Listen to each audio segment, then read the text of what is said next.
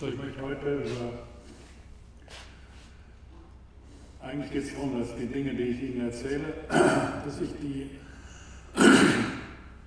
äh, verankere in äh, den, wie Mathematik erklärt wird und wie die Referenzen der Mathematik sind. Und ich werde in den äh, nächsten Vorlesungen anfangen, Ihnen zu zeigen, wie es äh, die Architektur dann entsprechend moduliert wird in diesen äh, Schichten. Und eine, also die wesentliche Referenz überhaupt, ist das äh, Buch, was am wichtigsten ist, sind die Elemente von Euklid. Das, das meist äh, zitierte oder bearbeitete Buch überhaupt in unserer, in unserer Kultur. Und äh, da möchte ich jetzt das versuchen zu lesen mit Ihnen in den Schemen, wie ich sie Ihnen immer vorschlage. Und wir werden dann äh, die ersten äh, äh Definitionen und Postulate äh, in Mathematika äh, implementieren in einer Art, wie ich das dann auch vorschlagen werde, wie man Architektur modellieren kann in der entsprechenden äh, Art. So, weil das so gut geht, bin ich auch recht sicher, dass das, was ich Ihnen erzähle, nicht vollkommener Unsinn ist. So, und Sie werden sehen, es ist, so wie ich das Ihnen auch erkläre, sehr komplex. So, schauen wir uns das mal an, wie die äh, Elemente aussehen. So, Sie haben hier, das ist die äh, auf Wikipedia, es gibt hier uralte äh, Schriften, die fast alle immer geschrieben sind und wenig Diagramme haben. Äh, so, dann, da können wir gleich im Deutschen das angucken. Es sind diese Art von Konstruktionen, die wir auch machen werden in Mathematika. Ich zeige Ihnen, wie das dann geht, um zum Beispiel einen, äh, einen äh, Sechseck zu zeichnen und zu konstruieren. Es geht immer, das sehen Sie auch hier, es geht immer um die Kreise und die Linien. Die Kreise waren immer das Irrationale, die Linien immer äh, das Rationale. Wir haben die Zahlen. Die Zahlen sind immer Teilungen eines Kreises, also das Irrationale. Und so weiter. Sie sehen diese Figuren, wie das ein Zusammenspiel von Linien und Kreisen, von Winkeln und, und äh, Längen und so weiter ist. So, hier sind alle, Trans alle äh, Editionen und Übersetzungen. Sie sehen, das hat, hört nicht auf. So, das ist sehr wichtig. Und es gibt kein Buch, was so eine Geschichte hat. Was wir kennen, vielleicht die Bibel. Oder sicher die Bibel. So, ich habe hier eine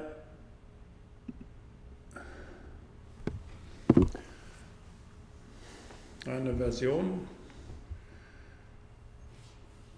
die äh, aktuell übersetzt ist, 2006, 2007 in modernes Englisch, was immer das heißt. Und das ist alles sehr schwierig zu verstehen, was da jeweils ist.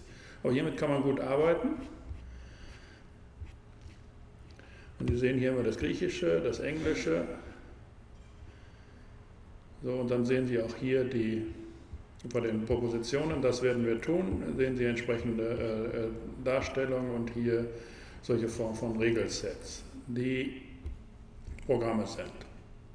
Also das entspricht den, der Software, den Programmen, die wir heute haben. So, wie das.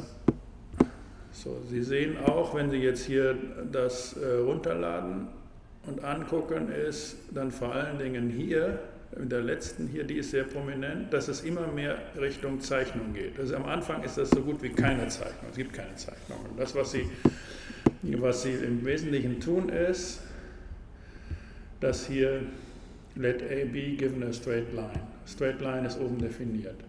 So, dann machen Sie das, machen Sie das hier, referenzieren immer auf bestimmte Definitionen und Postulate, die vorher da waren dann gibt es hier, when shown equal to, thus C and A, and so on.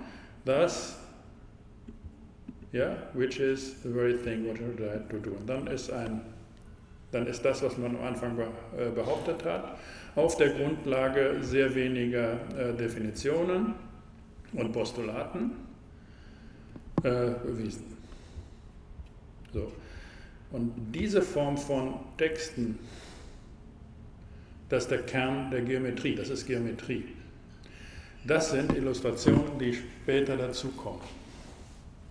Die vor allen Dingen dann ab der Renaissance wird das Zeug illustriert und das wird über, hier sind die ersten äh, Übersetzungen äh, aus dem Arabischen, hier in das Arabische, das aber von Griechen und von, ähm, von äh, Juden äh, gemacht worden ist, in Auftrag von arabischen Machthabern. Das sind äh, diese Figuren. Und dann in der Renaissance fängt es an, dass man das zeichnet. Das heißt, dass man diese Texte, die Geometrie sind interessanterweise, anfängt in Zeichnungen zu übersetzen. Und die Zeichnungen primär setzt vor der Geometrie, äh, vor, der, vor dem Text. Beides sind zwei verschiedene Formen von Geometrie und sagen das Gleiche. So, und dann haben wir jetzt vor allen Dingen hier mit Brian sowas, äh, Burn, oder Brian, äh, eine jetzt sehr äh, prominente farbige Version, die sowas hat, wie wir das äh, aus, der, aus der Schule mit der Set Theory und so weiter haben, dass wir die roten Quadrate sortieren sollten und die, die, die äh, Dreiecke und die Rechtecke und so weiter, dass man solche Sachen eben einfach sortiert nach Farben, nach Formen und so weiter, das, was wir unter Mengenlehre und so weiter kennen. Und von dieser Art gibt es hier eine, eine Darstellung, und zwar immer nur bis Buch 7. Da wird das alles immer illustriert und dann wird auch mit diesen farbigen Symbolen argumentiert. So, das ist interessant und das ist sehr prominent. So gibt es also eine Historie von diesen Dingern. So, das Interessante ist, dass sie fast immer, gehen wir mal hier auf die deutsche Version, da ist das besser, besser dargestellt.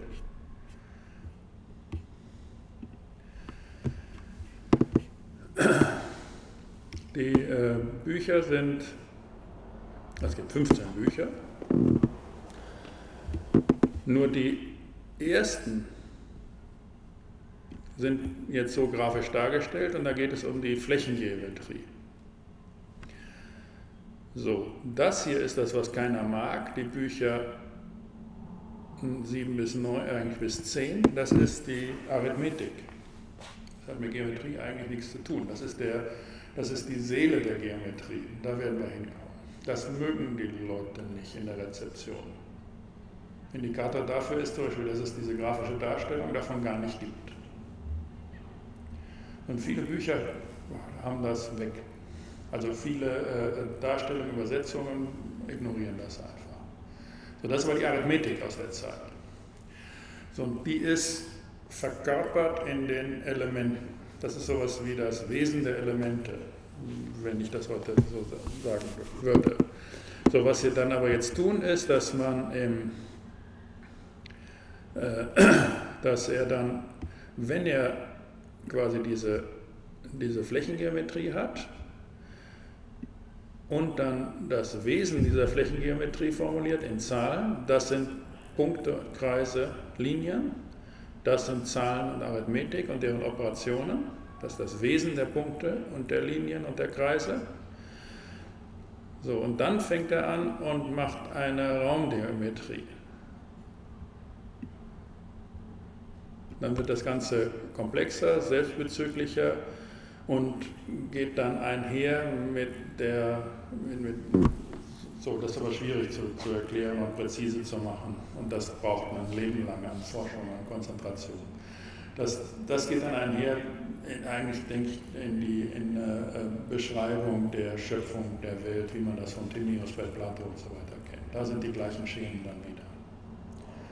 Da sind dann die platonischen Körper, sind dann sowas wie die Summe, also sowas wie die auskristallisierte Summe dieser äh, Raumgeometrie und dann hört das da auch auf. So. Wir werden jetzt hier im ersten Buch ganz einfach anfangen, äh, das uns äh, anzugucken. So ist der Stand. So, gehen wir nochmal hier, so wie ich Ihnen jetzt das immer erkläre und das fassen wir nochmal immer zusammen. Oder schauen wir hier, wie, wie, äh, wie er das. Schauen Sie sich das an. Also das bedeutendste Buch, was wir kennen, fängt einfach so an. Und da ist nichts weiter beschrieben. Und das ist ein, ein Phänomen in, in itself. So, er sagt einfach, a point is that of which there is no part. Zweiter Satz. Ja? And a line is a length without breadth.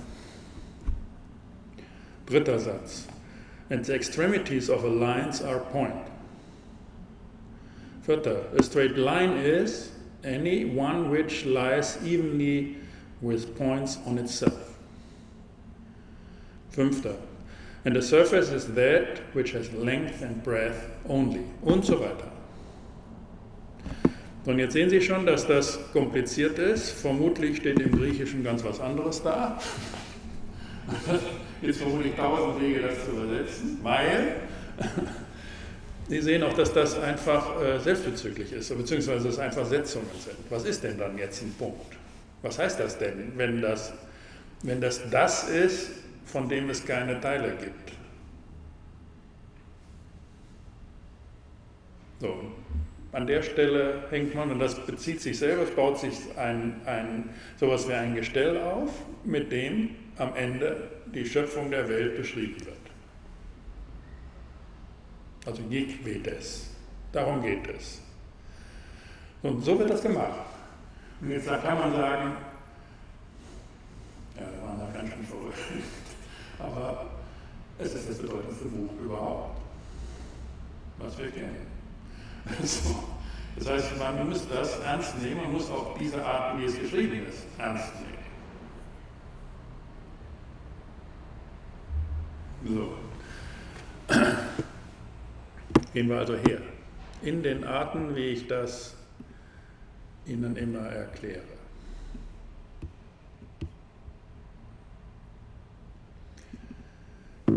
So, nochmal eine Zusammenfassung, wie, wie ich wie, wie ich denke, dass diese Dinge heute für Sie als Architekten äh, relevant sind. Und dann gehen wir das Schritt für Schritt durch, wie man das lesen kann. Was ist ein Punkt, was eine Linie, was eine Länge, was eine Breite und so weiter. So, was ich Ihnen sage, ist, Mathematik ist die, äh, ist die Emancipatory Art of Learning and the Royal Path to äh, Knowledge. So, weil Mathematik als einzige Form mit einer Anwendung nichts zu tun hat. Das heißt, nicht korrumpiert ist von irgendeiner Anwendung. Deswegen ist sie nicht disziplinär. Was bedeutet, dass wenn Sie aus einer Disziplin kommen, in die Mathematik gehen, dass Sie in andere Disziplinen auf mit der gleichen Art und Weise lernen können. So, das heißt, das ist sowas wie ein Hub.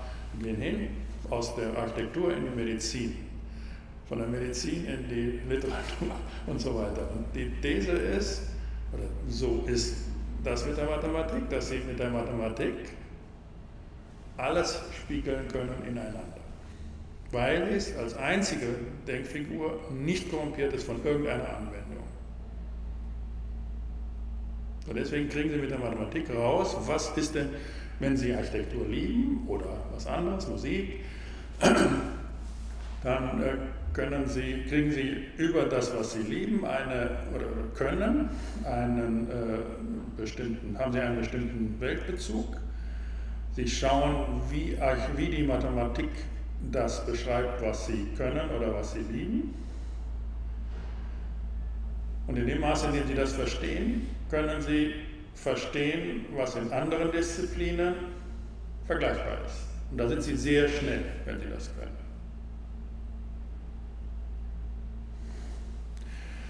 So, deswegen wird das so genannt.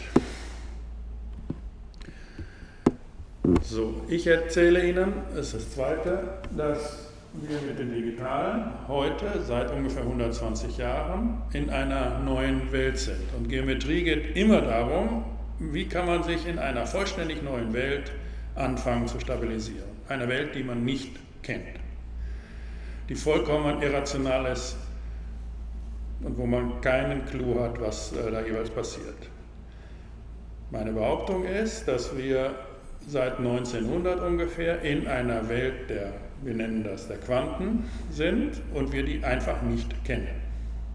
Das ist etwas, was wir äh, hatten in der, äh, in der Renaissance mit der kopernikanischen Wende, dass man von einer Welt, die man kennt, sie ausgebreitet liegt, vor uns liegt als Garten, das nennen wir geozentrisch, anfangen in eine heliozentrische Sicht zu kommen, in der alles sich umeinander dreht. Sie sehen wieder das Gerade und dann das Zirkuläre, alles miteinander dreht und alles davon abhängt, wie die Konstellation der Elemente ist. Und da sind wir bei den Elementen von, von Euklid und es geht wirklich darum, die Konstellation im offenen Raum, der von anderer Dimension ist, wie das ausgebreitete, sichtbare, was uns vor uns liegt in aller Analytik in der vertrauten Welt. Und das ist das, was wir erleben mit den Quanten seit 120 Jahren und was uns nervös macht. Dass wir einfach nicht wissen, wenn sich alles immer umeinander dreht und es immer davon abhängt, wer gerade wie, wo, in welcher Konstellation ist, was ist dann wahr, auf was kann man sich verlassen und so weiter. Darum geht es immer. Geometrie, wenn Sie da Punkte haben und zu Dreiecken machen, stabilisiert diese Planetensysteme auf einer intellektuellen Art. Geht mit dem Irrationalen um, dass alles, was, sobald alles davon abhängig ist, wie die Konstellation ist, sprich, welche Art von Frage ich stelle. Geometrie bringt Ihnen eine Form von Stabilität. Das ist Geometrie. Das hat mit Zeichen nichts zu tun. So, und ich behaupte, deswegen ist das relevant, was dort passiert ist für uns, dass wir seit 120 Jahren in einer solchen neuen Welt sind, und ich würde sagen, dass das eine Welt im Leben ist. Was wir mit Euklid haben, ist eine Welt äh, im, im, Raum, die vollkommen neu war. Und die haben die Welt der Dinge verlassen. Und mit Euklid geht man in eine Welt des Raumes, die von den Dingen losgelöst ist. Mit der Renaissance verlassen wir die Welt des Raumes und gehen in eine Welt der Zeit, die von dem Raum losgelöst ist. Und jetzt mit der Raumzeitkrümmung und so weiter verlassen wir die Zeit und sind in einer Welt, ich würde vorschlagen, des Lebens, die losgelöst ist von der Zeit. Deswegen können wir Filme machen, vor und rückwärts spielen, deswegen können wir telefonieren, kreuz und quer über die Welt und können das auch abspielen, können es auch rückwärts abspielen, was gesprochen worden ist und so weiter. Wir haben einfach mit der Zeit kein Problem. Alles, was wir haben, sind Zeitkapseln. Das ist was Interessantes. Also diese kleinen, das sind die Elemente, die wir haben. So, dann würde ich sagen, dass die Mathematik nicht sich ändert. Und das haben Sie an den vielen Darstellungen der euklidischen Geometrie gesehen. Ich würde behaupten, oder so, das finde ich als interessant und das würde auch den Prinzipien der ähm, der Kategorientheorie, die ich denke heute konstituierend ist, entsprechend. Die Mathematik ändert sich nicht. Aber unsere Welten ändern sich. So wie die Mathematik eine Abstraktion von den verschiedenen äh, äh, Domänen ist, ist sie auch eine Abstraktion von den verschiedenen Welten.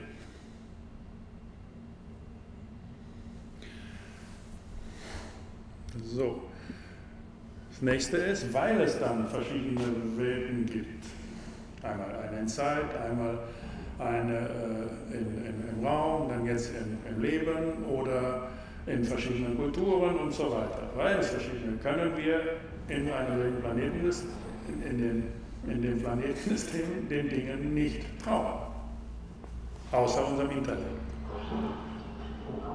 Wir können nicht trauen, den äh, den äh, Dingen, die wir anfassen, die ausgebreitet sind, dem Sensiblen, dem, dem Emotionalen, dem Engagierten und so weiter. Können wir nicht trauen, aber dem Intellekt. Weil es immer von der Konstellation abhängt, was da passiert und der Intellekt kann davon abstrahieren. Der kriegt eine Stabilität, obwohl es sich rotiert und immer wieder anders aussieht oder sich anders anfühlt und so weiter. So, dann würde ich sagen, und das sind diese Diskussionen heute um, um äh, Parity oder dass man kritisiert, dass die äh, mit dem Anthropozän oder äh, Eurozentrismus und so weiter. Ich würde sagen, da glaube ich ernsthaft dran, und das ist schwierig, sich das äh, wirklich ernst zu nehmen, dass Menschen je immer so schlau waren wie wir heute ja? Das, äh, und die sind auch überall so schlau wie wir. Die haben immer ungefähr unser Hirn, die sind so seit, seit zigtausenden von Jahren. Und jetzt auch die Menschen auf diesem Planeten sind alle, im Prinzip haben sie die intellektuelle Kapazität wie wir. So, und jetzt glaube ich, dass alle Kulturen, auch von allen Zeiten, auch auf allen Orten dieser, Welt im Prinzip ähnlich komplex sind, wie wir unsere Welt heute aussehen. Weil diese schlauen Menschen sonst gelangweilt werden. Ich würde sagen, das ist der einzige Grund dafür. So deswegen kann man auch nicht sagen, zum Beispiel, das, das sind so Dinge, dass man, was wir jetzt sagen, zum Beispiel, wie wir in der Schule lernen mit der Pädagogik, die machen ja das immer einfach. So, das heißt, dann malen die ein Dreieck, was ist ein rechtwinkliges Dreieck und dann lernt man das, dann lernt man das zu konstruieren und fertig. Das ist nicht so, wie die Euklid irgendwie richtig das überlegt haben. Da steht ja, ein Punkt ist das, was keine Teile hat. Da kann man nicht sagen, ein Punkt ist halt da, wenn ich, wenn ich, wenn ich auf einem Blatt Papier so einen kleinen Kringel kritzel und dann ein Lineal zwischen, also Linie ist, wenn ich da ein Lineal da eine, an Lineal eine gerade Linie mache und dann schimpfen, wenn die nicht ganz gerade ist. Diese Art von Standardisierung helfen nichts, sondern die machen einfach dumm. Und die nehmen vor allen Dingen an, dass das, was Euklid gesagt hat, bei uns in der Grundschule gelernt werden kann. Warum sollte das sein? So, man muss einfach sagen, wenn die sagen, ein Punkt ist, oder was ich mal gesagt habe, weil das Griechische, wir wissen ja, wie kompliziert das ist mit dem Übersetzen, schon in, in der Ist-Zeit, wenn die übersetzen 2500 Jahre zurück, ist ja noch komplizierter. Was immer die gesagt haben, wenn die sowas gesagt haben, dann muss man erstmal sagen, hm. Und das werden wir nie verstehen. Weil die waren genauso schlau wie wir. Und sie werden, und das muss man auch immer sagen, also eine Kultur erklärt immer die ganze Welt. Auch sonst. Also ich überlege mir immer, wenn man, das ist so Neandertaler, das ist so blöd, kriege ich nicht aus dem Kopf. Ich glaube ja nicht, dass die da immer so, die waren einfach Herr der Lage. Die saßen da irgendwie vor einer Höhle, guckten da, hatten gejagt, da war dann waren sie irgendwie satt und dann sitzen sie da am Feuer. Niemand kann sonst Feuer, ne? einfach Chefs. Ne? So, gucken, was so passiert da, sind satt, trinken, singen, erzählen. Und dann gucken die da und so weiter. Äh, und dann sehen die den Himmel und die Sterne und so. Was, was machen die denn außer die Welt erklären? Haben so ein Hirn wie wir. Sind Chef der Lage Natürlich erklären die die Welt, so wie wir. Und ist natürlich genauso kompliziert wie unsere. Was sonst? Der hat ja Langeweile sonst.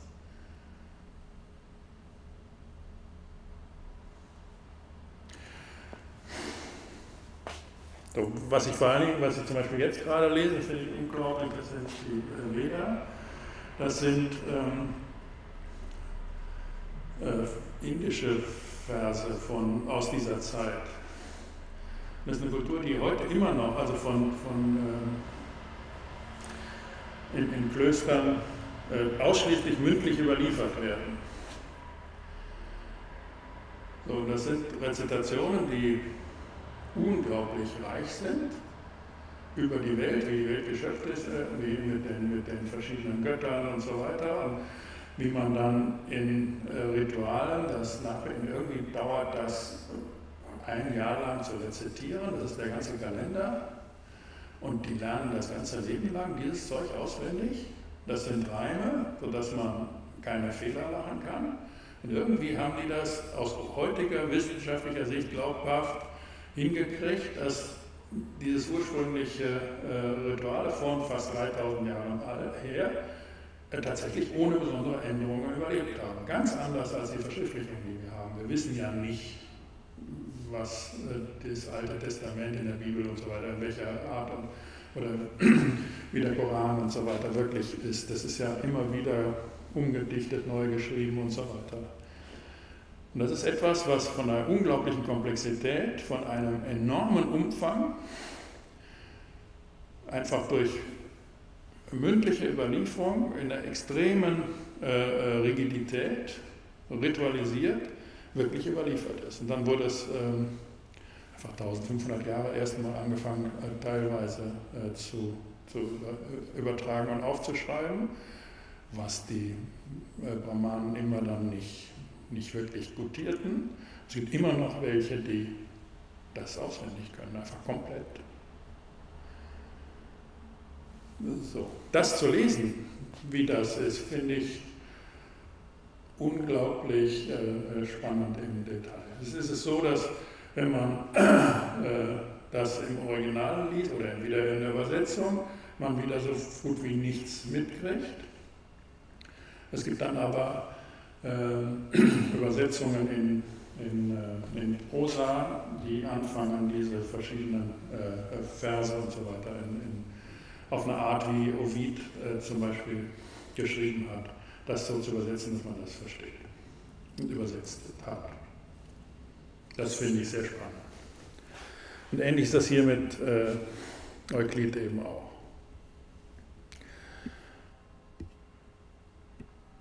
Ja? So, deswegen müssen wir,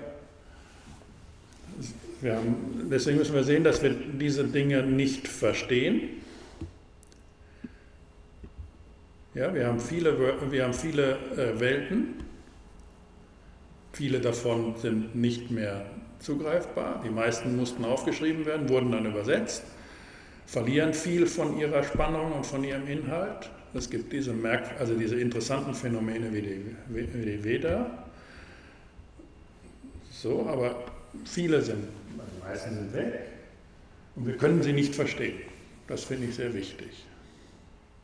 Weil wir sie immer nur von einer Seite angucken können, in Konstellation, immer nur so, wie wir fragen können. Ja? So. Deswegen ist Mathematik jetzt etwas, mit dem Sie, denke ich, müssen Sie immer fragen und mit dem man das spiegeln kann und mit dem sie gute Fragen stellen und gute Konstellationen bekommen, mit, mit dem dann was da rauskommt aus dieser Reichhaltigkeit. So ungefähr stelle ich mir das vor. Und Geometrie ist der Weg, wie man in einem heliozentrischen System, wo sich alles umeinander dreht, äh, Stabilität bekommt.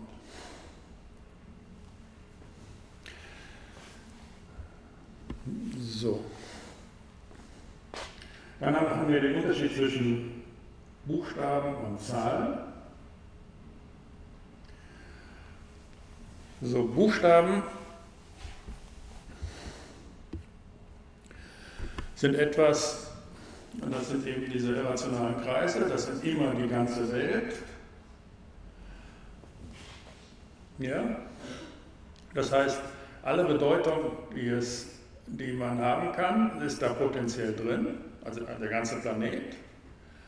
Aber man kann ihn nicht anfassen, ein Kreis, den gibt es nicht. Das heißt, er macht keinen Sinn. So, das sind die Charaktere. Ich mache eine A und mit dem kann ich alles schreiben, was ich schreiben kann. Aber ich kann es nicht anfassen. Das heißt, das ist ein Buchstabe. sondern das Gegenstück dazu ist die Zahl. Ja, die hat einfach keine, äh, die hat keine, keine Bedeutung, aber man kann, Zahlen ist eine 2, eine 3 und so weiter, aber man kann das auf alles anwenden, um Sinn, alles anwenden, was man sich vorstellen kann, um Sinn zu erzeugen. Genau andersrum. So ist es nichts, um, um alles, alles zu zählen zu können und messen zu können. Und der Buchstabe ist alles. ja, um hier, der Buchstabe ist alles und macht nichts. Und äh, das Zeichen, das heißt die Zahl, ist nichts und misst alles.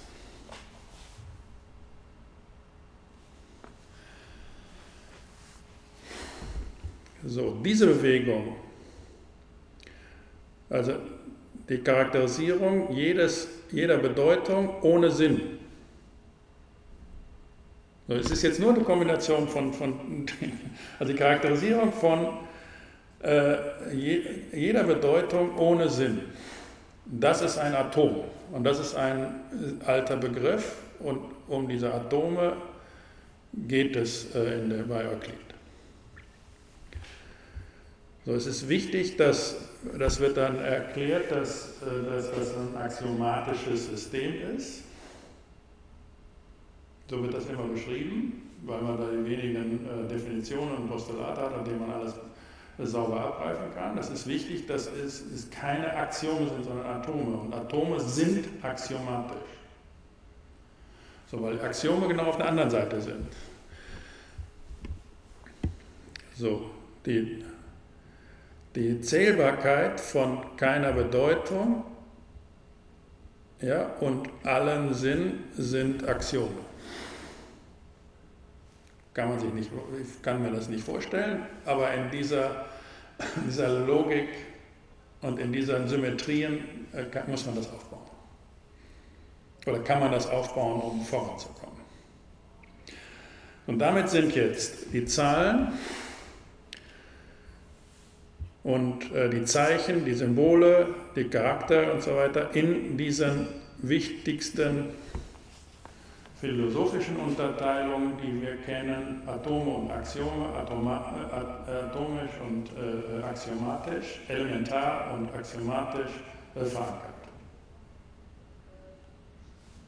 So, die Elemente sind axiomatisch und sind Atome.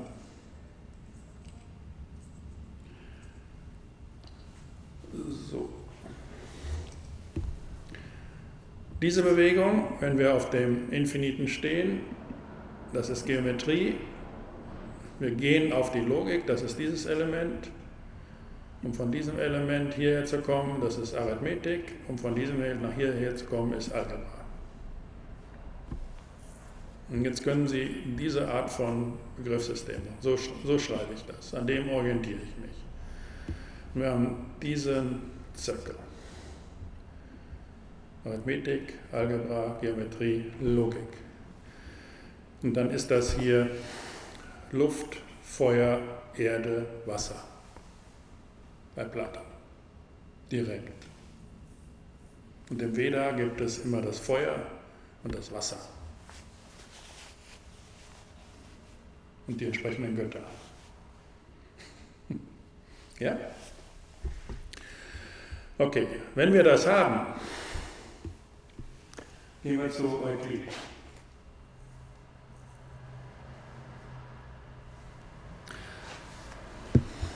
Definition 1. Ein Punkt ist, dass von dem es keine Teiler gibt, oder wie immer man das äh, sagt. So, ich stelle mir das jetzt so vor. C ist dafür, dass das ein äh, Charakter, Charakter ist.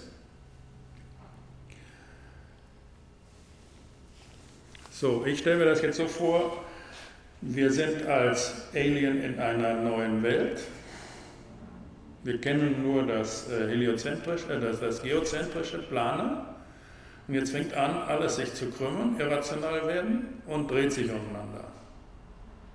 Und wir können nichts mehr sehen. Ich hatte Ihnen diese, diese äh, Geschichte erzählt, dass Kreise, dass das eine Chimäre ist, dass man einen Kreis sehen kann. Und dass sich Kreise und Linien in der Fläche nur in Ausnahmefällen schneiden. Weil der Kreis irrational ist, den hört man. Und die Linie ist äh, rational real und die sieht man. Und da man nicht hören kann, was man sehen kann, was man sehen kann, und wechselseitig kann man Kreise nicht sehen. Und Linien kann man nicht hören. So, das auf dem Blatt Papier zu machen und da Schnittpunkte zu machen, ist ein komplizierter Trick, der die Sachen blöd macht. Das heißt, das hat angefangen, als wir in der Zeit äh, ähm, äh, uns organisieren, dann diese Zeichnungen machen über die alte Welt des Raumes.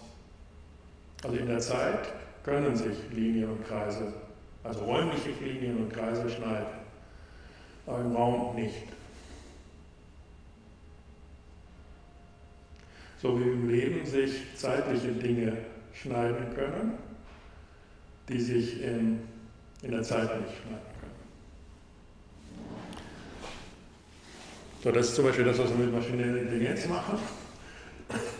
Oder das, was man mit den komplexen Zahlen kann, ist, dass Dinge, die man per Definitionen kann man zum Beispiel Polynome bis zu einem gewissen Grad, also ich glaube, da ist 5 oder 6 Grad, kann man die lösen, analytisch und mit Definitionen im realen Zahlen sprich in der fünften äh, äh, äh, Selbstreflexion von Dingen. Wenn man die dann gleichsetzt, zwei Elemente, zwei Individuen, die man gleichsetzt, in einem bestimmten Maß von Selbstreflexion, da kann man zu einer gemeinsamen Lösung kommen. Wenn die anfangen, sich in die sechste oder siebte Dimension zu reflektieren, gibt es keine Lösung. Definitiv nicht.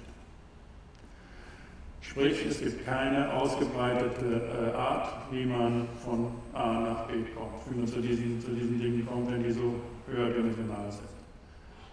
Wenn man anfängt, mit, komplexen Zahlen das zu machen, das heißt, dass die Linien einen Twist haben, drehen können, sind ja immer zwei Komponenten. Wir haben den realen Anteil, das ist das, was man sieht, und wir haben den imaginären Anteil, das ist das, was man dreht. Wenn Sie also anfangen, zwei hochdimensionale Elemente miteinander gleichzusetzen und deren Verknüpfung, deren Linie dazwischen drehen können, dann kriegen Sie Lösung.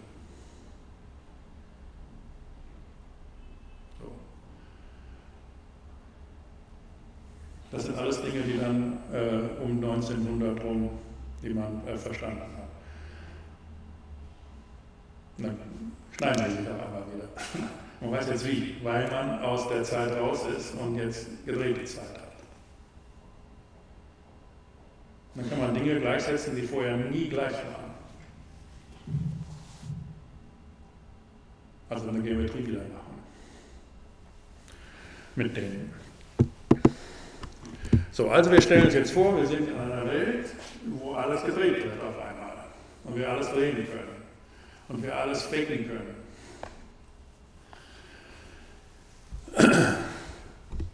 So, dann ist ein Punkt ein Symbol, mit dem ich alle Bedeutung meiner, meiner alten Welt nicht habe. Ich kenne das alles, aber es ist nicht da. So, und ich denke mir immer, wo, wie kann das sein? Was könnte das sein, so ein Punkt? Und wenn ich das körperlich mir angucke, würde ich sagen, das ist der Mittelpunkt von unserem Auge. Drin. Ist alles nicht. Und den gibt es auch nicht.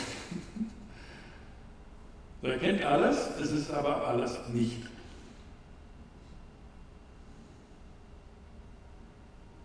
So, das ist ein Punkt.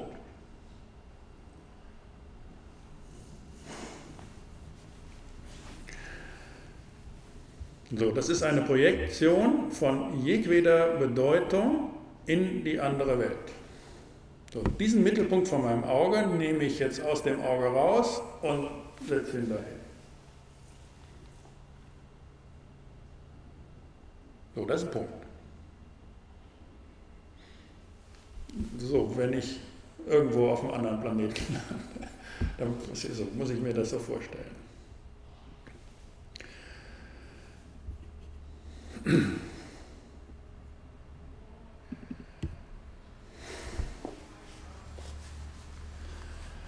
So, dann ist jetzt die Linie ist eine Länge ohne Breite. Eine Länge ist, Sie beschreiben das als Zahl, deswegen sind wir hier, schreibe ich hier a Number, Zahl. Das war ein Character und eine Linie ist eine Zahl. Das von der anderen Seite. Ja. Das würde ich jetzt sagen ist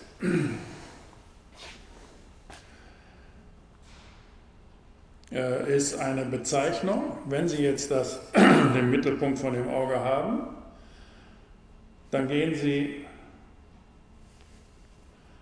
gucken Sie eine bestimmte Länge. Das heißt, das ist jetzt sowas wie der Radius Ihres, äh, ihrer, äh, Ihres Augapfels. Das ist eine, ein Kreis um den Punkt herum. Also das heißt, wenn ich jetzt hier bin und jetzt eine ohne Länge, ohne Länge und ohne Breite, eine Länge von einem Punkt, dann ist das der Kreis äh, drumherum. Das heißt zum Beispiel drei. Drei Einheiten, drei Schritte einfach weiter. Und das ist der Kreis. Drumherum. Und eine Zahl. So, was ich also jetzt tue ist, ich äh, nehme diesen Punkt und äh,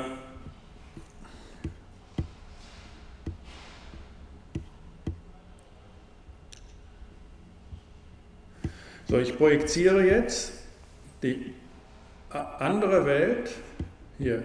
The line is a reflection of, das ist die Reflexion meiner Welt. Projection in the other world to read the meaning of your world. So, das ist also jetzt einfach eine, ja, lassen wir es. So, so ist, ist die Reflexion von jedem Sinn in, äh, in meiner Welt. So, das heißt, es ist sowas wie ein äh, Scanner. So, ich, hab, ich habe diesen Punkt, im Zentrum vom Auge. Ich bin jetzt in der Welt und ich gucke, ich messe die Distanzen und dadurch kriege ich von der neuen Welt eine Reflexion von dem, was ich kenne. Ich projiziere meine Welt in das und sehe, was sie reflektiert. So von der Art ist das ungefähr. Das ist eine Zahl.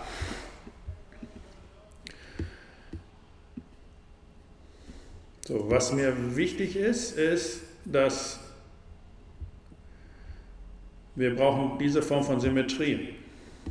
Das ist ein Charakter, Charakter mit dem Punkt und das ist die Zahl. Ich habe das jetzt in diesem Sinne hier äh, durchdekliniert, was ich denke, was eine Linie und was ein Punkt sein kann. Und ich brauche diese Form von Symmetrie, dass ich den Charakter und die Zahl anfange miteinander zu reden. Etwas Kreisförmiges als Zahl und äh, etwas äh, Lineares äh, als äh, Charakter. Und wechselt also. Ich komme ein bisschen durcheinander, äh, ein bisschen, ich kriege es nicht so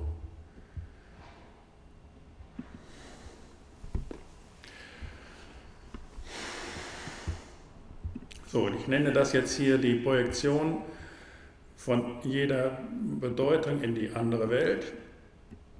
PM, Projektion of, Projection of Meaning in die other world, äh, world.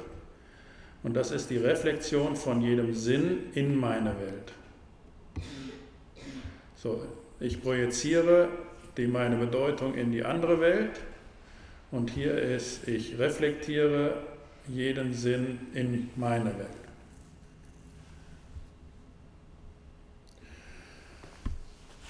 So, wenn wir jetzt die Extremities haben, so das heißt, ich projiziere und dann scanne ich das zurück. Punkt, Linie, Linie, reflektiere das. Ich bin in der Welt, projiziere das, was immer es ist, mit meinem Punkt.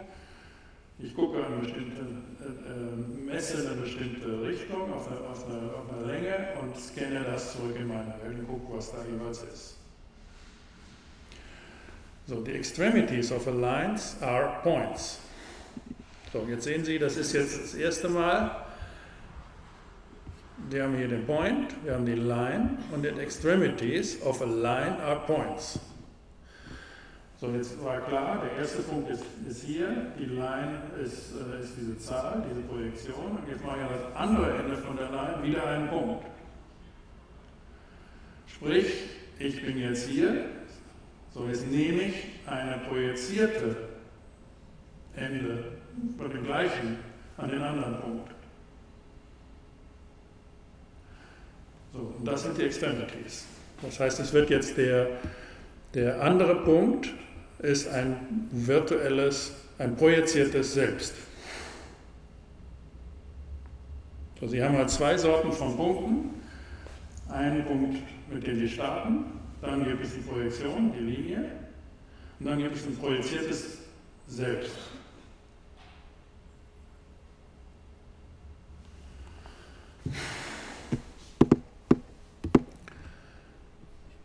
So, eine Straight Line ist jetzt, dass Sie anfangen, die, das Zusammenspiel jetzt anfangen, also Sie haben den Punkt, Sie projizieren, also den Punkt, projizieren, reflektieren. Jetzt projizieren Sie das Ende und die Straight Line ist die Reflexion von dem Ende. Das ist die gleiche Figur invers. So, Sie haben den Punkt, die Linie, Projektion, Reflexion. Und jetzt projizieren Sie sich selbst ans Ende und reflektieren die Projektion von sich selbst und so weiter. Das ist die, das ist die Streu.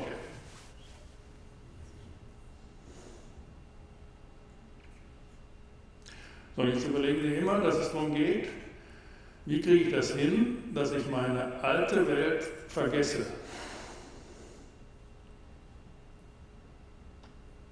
Und das System ist jetzt nur dafür da, dass Sie über diese wechselseitigen Projektionen und Reflexionen eine Stabilität bekommen, die abstrahiert von dem, was sie kennen und in sich stabil ist.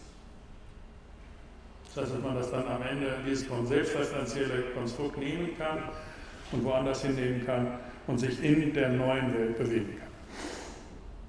So geht es.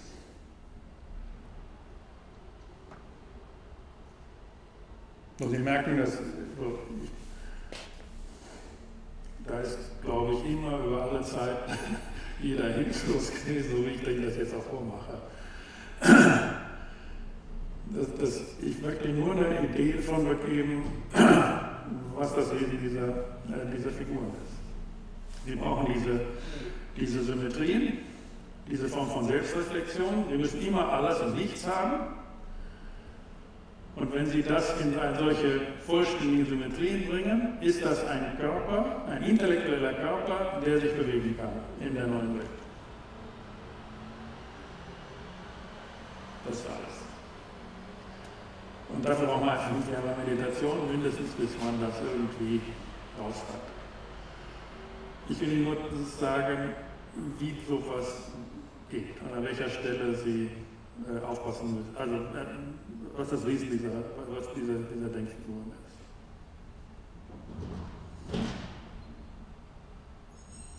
Dann bleibt, dann bleibt das reich und, und vielfältig und so weiter.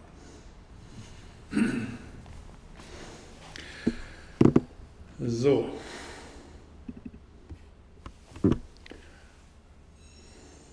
Jetzt habe ich das einfach zusammengefasst, damit Sie diesen Rhythmus, wie, wie so ein Tanzschritt, so eins, zwei, drei, ein, so tanzen Sie dann durch die neue Welt. So ungefähr geht das.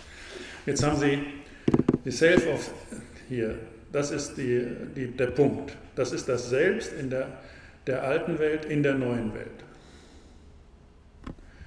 D2. Die Reflexion von mir in, der alten, in die alte Welt. D3. Die Differenz von der neuen und der alten Welt. Und D4, mich, äh, mir, äh, ich, ich lerne diese Reflexion. Und damit bin ich draußen. So, wenn Sie jetzt auf äh, Thales gehen und äh, das äh, Dreieck, dann ist die 1 der, äh, der äh, Gnomon, Sie wissen, Sie kennen diese Geschichte mit den, das habe ich jetzt mehrfach erzählt, den äh, Gnomon, die Pyramide, das Dreieck, der Schatten, die Sonnenuhr und so weiter. Dann ist der Punkt, der Gnomon, das bin ich, alles vergessen, deswegen der Stock, in der, im Sand, alles nicht. Gnomon ist auch der, der alles kennt, das, ist die, das heißt Gnomon, der alles weiß aber nichts ist. Das ist der Stock, das ist der Punkt, D1. Das ist die Vertical, Vertical Leg von dem Dreieck. So, und das nennen wir Orthographie in der Architektur, bei Vitruv und bei Alberti. So, dann haben wir das äh, Second Horizontal Leg, D2 ist die Linie, das ist der Schattenwurf von der Sonnenuhr der sich unter der Sonne bewegt im Kreis. So, das ist die Reflexion von mir in der alten Welt.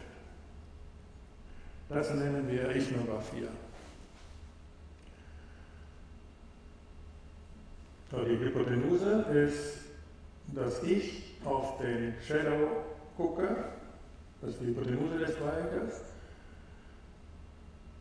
so, das ist die Irrational Ichnographie, das ist D3. Und die Szenegraphie ist, dass ich mir das Dreieck angucke und diesen Zusammenhang lerne.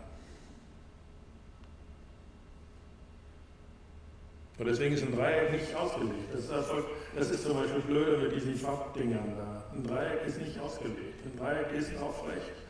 So, der rechte Winkel ist immer der Punkt, auf den es auf die, auf die Welt geht auf die platte Welt, die geozentrische, dann wirft es, das ist, das ist der Punkt, das bin ich, das ist mein Kopf, das ist mein Fuß, sind schon die zwei Punkte unterschiedlich, dann wirft es den Schatten, das ist, der, das ist, der zweite, das ist die äh, äh, Ankathete, Gegenkathete, das ist der Schatten, der ist von einer komplett anderen Substanz wie, wie die Vertikale, die eine, eine. Das ist die Ichnographie. Und die Diagonale ist relational. Die ist reiner Intellekt. Mit dem fängt es an sich zu drehen. Mit dem verlässt, mit der Diagonale verlässt man den Planeten. Deswegen ist es so blöd, einfach 1, 2, 3 und alles zu verbinden und sagen, das ist ein Dreieck. Und wenn das ein rechter Winkel ist, wenn a Quadrat plus b Quadrat, dann sehe ich schon, a Quadrat plus b Quadrat gleich c Quadrat ist schon so eine Drehung dass man einfach das so malt und dann sagt, ja klar, das ist dann 3 Quadrat bis 4 Quadrat, 5 Quadrat, super, fertig. Ja? Das ist so blöd. das packt die Sache nicht. Das ist alles endlos verrätselt und man darf nicht erwarten, dass man das versteht. Man kann es einfach nicht verstehen. Fertig. Man kann andere Welten und auch die Welt nicht verstehen.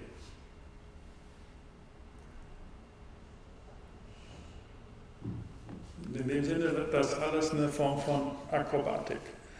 Und diese Dreiecke sind unglaublich. Ich finde sie absolut faszinierend, wie das, wie das geht. So, und jetzt mit 5, wir sind ja erst bei 4, mit 5 geht das jetzt genau das gleiche weiter. Über die Surface, die Extremities, dann Plane Surface und Plane Angle. Äh, und da geht das Ganze jetzt in der Fläche und dann wird die gleiche Geschichte nochmal wieder über die Fläche, das heißt über den Selbstbezug erklärt. So, so geht es einfach weiter mit ein paar hundert solcher äh, Definitionen. So, das habe ich jetzt hier in diesem Schema Character, Number, Character, Projective, äh, projektiert, Projective äh, Number, Character, hier so in den gleichen Schemen die Dinge. So, gehen wir jetzt mal kurz durch und äh, programmieren das. Ne? So, hier einen Punkt. Den nennen wir A. Das ist, die, äh, das ist das, was keine Teile hat. So, wir sitzen in einem bestimmten Ort und geben ihm einen bestimmten Namen. Und das ist da, die, um die Grafik zu organisieren. Und wenn wir das ausführen,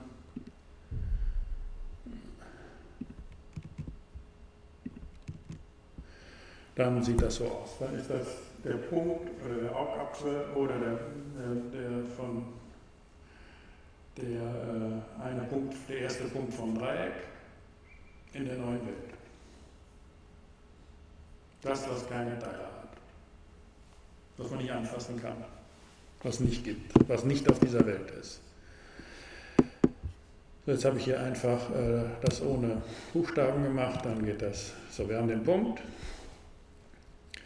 Den nennen wir und wir sagen, das ist entsprechend vom Postulat 1 der Punkt und den stellen wir halt grafisch dar. Das ist jetzt einfach unsere, unsere Maschine, mit dem wir diese Postulate und Definitionen darstellen können. So, die Linie.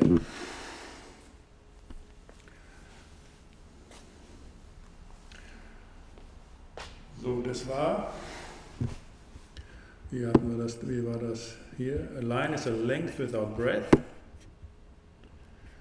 Das ist einmal das geometrische Modul und das äh, arithmetische Modul. So, ich würde jetzt sagen, wir können das so machen. Wir haben zwei Punkte und die Line zwischen diesen beiden Punkten ist eine solche Zahl, die in der Regel irrational ist. Das ist eine Linie.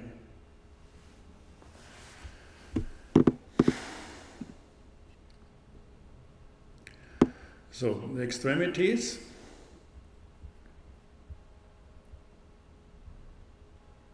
Das hatten wir hier. And the extremities of a line are points.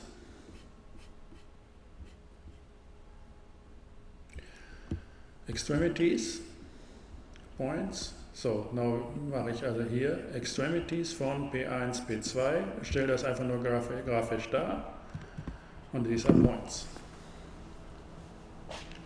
So, anders als jetzt, wenn wir nur den Punkt haben, haben wir jetzt zwei Punkte. Das bin ich und das ist ein projiziertes Ich, reflektiert durch den, wechselseitig. Mehr steht da noch nicht. A straight line ist zwischen diesen, ist, ähm, a straight line ist is one with, with lies evenly with points of on itself.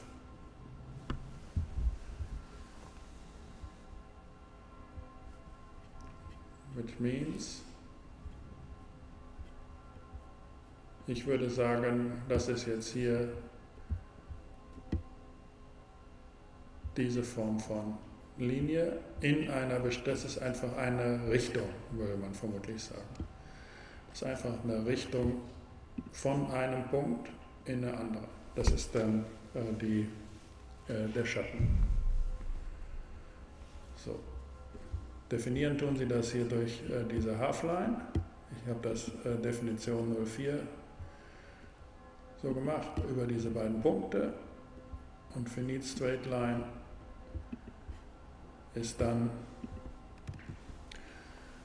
dass man äh, diese beiden Punkte hat.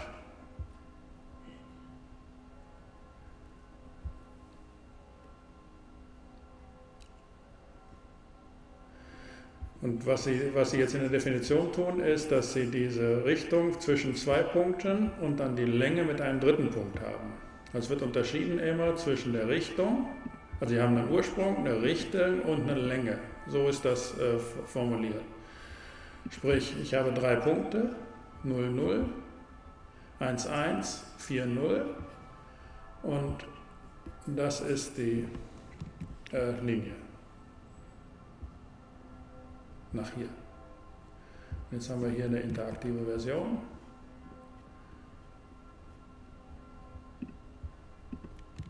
So, und jetzt kann ich hier, so, das ist eine Korrelation zwischen drei verschiedenen Punkten.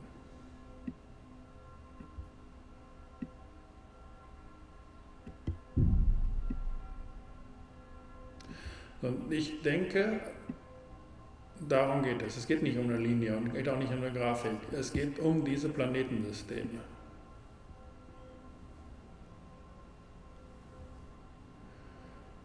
Das ist eine Strecke. Nicht nur Richtung, sondern Richtung und Länge. Und die definieren sie immer durch andere Punkte und kombinieren die. Um diese Planetensysteme geht es.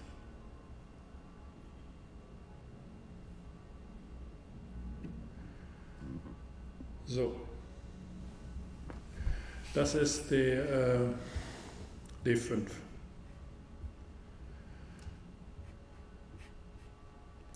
Deswegen jetzt einfach einen Punkt zu zeigen, einen Punkt, eine Linie zu machen und so weiter, das hilft nicht. Ich glaube nicht, dass es darum geht. Das hilft, wenn man in die Zeit geht und dann den Raum abbildet. Da wir aber den Raum, also die Zeit verlassen haben, müssen wir die Dinge jetzt lebendig machen. So, das heißt, eine Strecke ist diese Form von Lebendigkeit.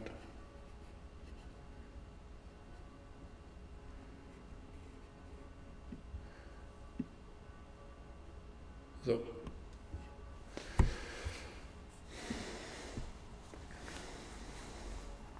Jetzt gibt es die Postulate. Das sind die ersten. Das ist eine Anweisung, wie man eine, äh, eine gerade Linie von einem Punkt zu jedem anderen Punkt macht. Das ist äh, hier, das ist trivial.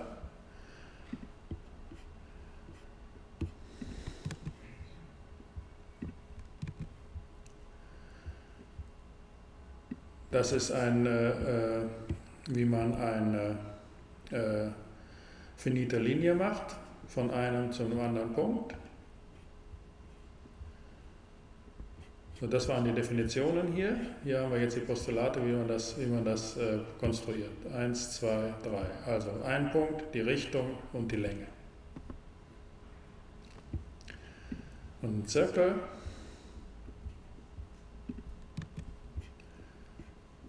ist das.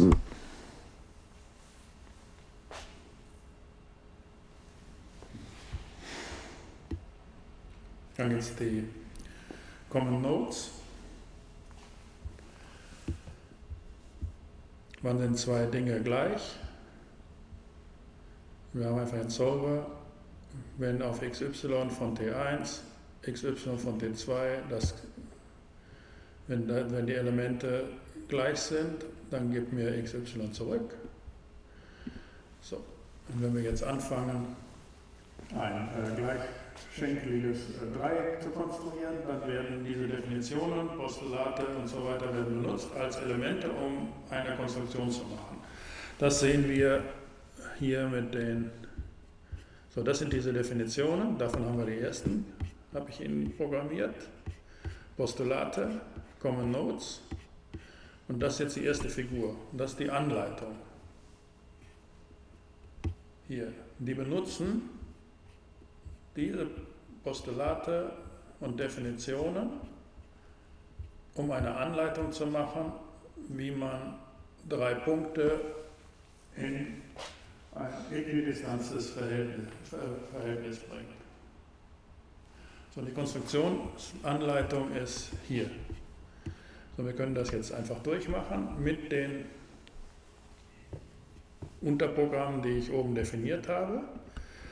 So, wir haben den Punkt A, wir haben den Punkt B, wir machen eine Linie, das hatten wir oben, von A nach B mit der Länge B, A nach B und zeichnen das. So, das ist immer nicht wichtig. Das ist der erste Schritt. Let A be the given finite straight line. Das ist die straight line. So, let the circle BCD with center A, radius AB und so weiter. And let the circle ACB with center B have been drawn. So, which means BCD, ACE, Circle, AAB, BBA und wir sind. Let the straight line CA and CB have been joined from point C, where circle cut another point A and B respectively. So, dann sage ich, C1, C2 ist Equality von BCD, ACE. Das hatte ich hier mit diesem komischen Ding hier gemacht. Wollen wir den? Hier. Das Equality. Dann ist das hier, um die Richtung festzulegen. Das, um, das ist ein Trick, da habe ich keine, weil es gibt eigentlich da zwei Lösungen. Ich muss ja immer hier und hier. Und jetzt will ich nur den oberen haben. Und das ist ein blöder Trick außerhalb. So, AC, Linie, BC, Linie. Wir hatten schon die Linie von oben. Zwei neue Linien, zwei neue Punkte. Hier wählen wir einen Punkt C aus von den beiden. Und dann machen wir Linie von A nach C mit der Länge C, B nach C mit der Länge C und zeichnen AB, AC, BC und die Punkte A, B, C. Wenn wir das haben, sind wir da. Und jetzt habe ich das in dem Code hier direkt, Sie sehen, das ist nur diese Zeile und das sind diese Zeilen, direkt implementiert von dieser Anleitung. 1 zu 1. Und übersetzt hier in eine grafische Darstellung. Da sind wir. So, das heißt, Postulat 01, Triangle, ist diese Funktion. Und jetzt kann ich sagen, a minus 2, 2.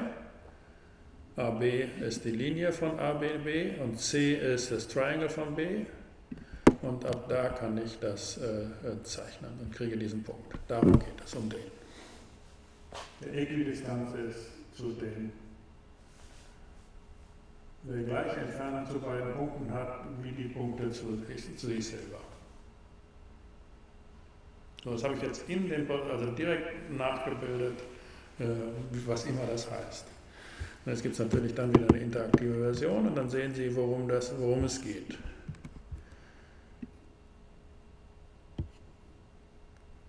Es geht wieder darum, Stabilitäten in diesem Planetensystem zu kriegen.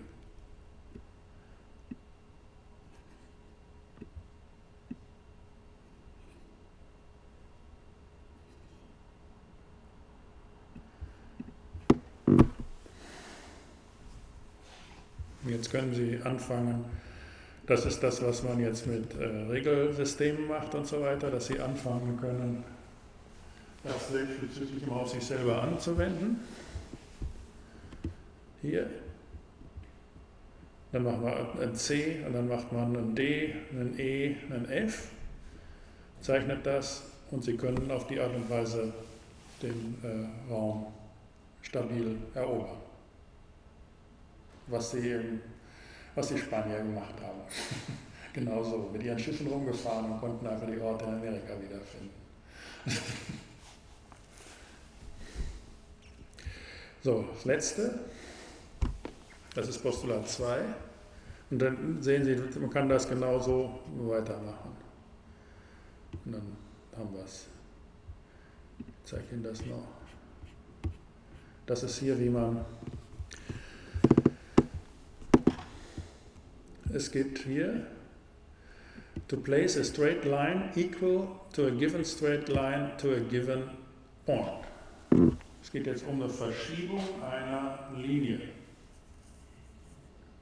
Das, beim ersten ging es darum, dass ich einen im fremden Raum, in einem irrationalen Raum, den man nicht sehen kann, einen stabilen dritten, aus zwei Punkten einen stabilen dritten Punkt machen kann, auf den ich mich verlassen kann, in der Bewegung, was immer ist.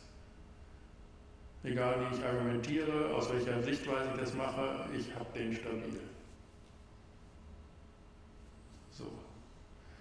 Jetzt geht es darum, dass ich eine nicht aus zwei Punkten einen dritten Punkt mache, sondern ich habe jetzt eine Linie, also zwei Punkte als Linie und ich habe einen nächsten Punkt. Jetzt möchte ich gerne die da hinschieben. Das heißt, den einen Punkt auf den anderen machen und dann den entsprechend mitnehmen. Das ist das zweite Postulat. So, das ist komplizierter, viel komplizierter. So, hier steht das, wie es geht. So.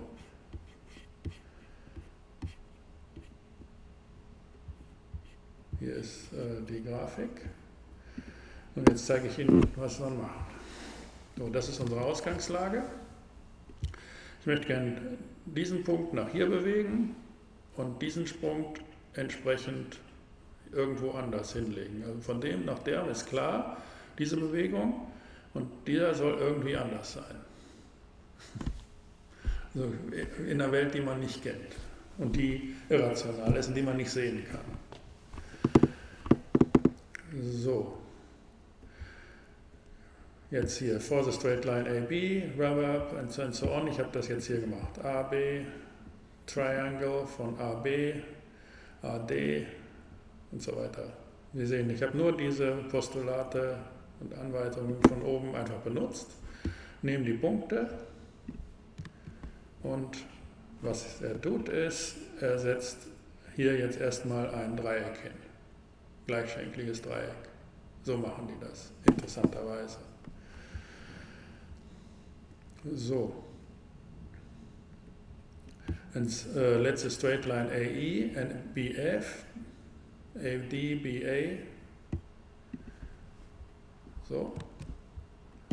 Jetzt macht man Straight Lines hier. Wieder nur benutzt, was oben definiert ist. Entsprechend den äh, Propositionen und Anleitungen von Euklid. So, dann gibt es einen Zirkel und eine Linie. So, das heißt, ich mache einen Zirkel um diesen Punkt und dann lasse ich das hier schneiden, um dahin zu kommen. Zirkel um diesen Punkt und dann rotiere ich das auf dieses hier.